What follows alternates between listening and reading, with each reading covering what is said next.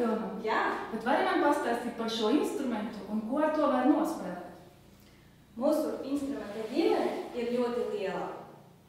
Bet pats interesantākais ir tas, ka akordeons ir dzīves instruments. Viņš prot elpot.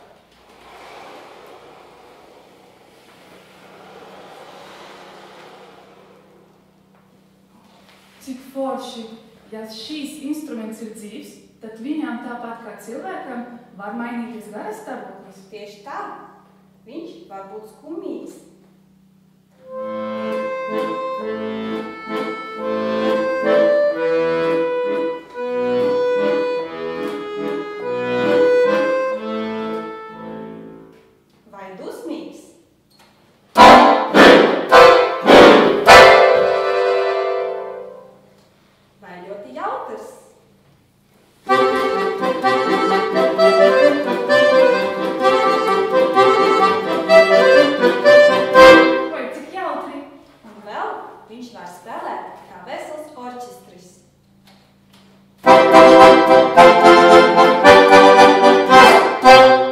Šīs instruments ļoti burvīgs, bet viņš var pārvērsties par dzīvnieku.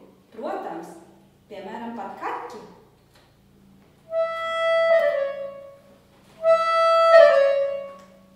Vai par putniņu?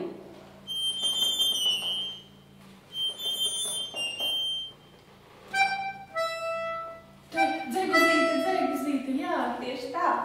Vai par lāci?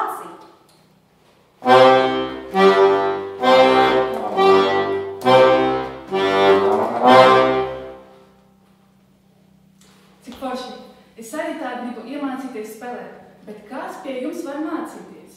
Pie mums var mācīties visi, gan mazie, gan lielie. Mūsu akordeona spēles nodaļas audzēkņi ar lielu prieku uzstājas uz skatuves un aktīvi piedalās dažādos koncertos un konkursos, kur saņem godalgotas vietas un balvas. Mēs uzstājāmies kā solisti, kā arī dažādu ansambļu sastāvā.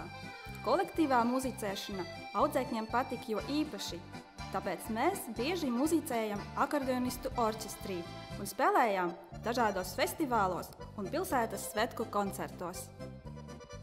Akordeons ir ļoti populārs instruments un to spēlē visā pasaulē.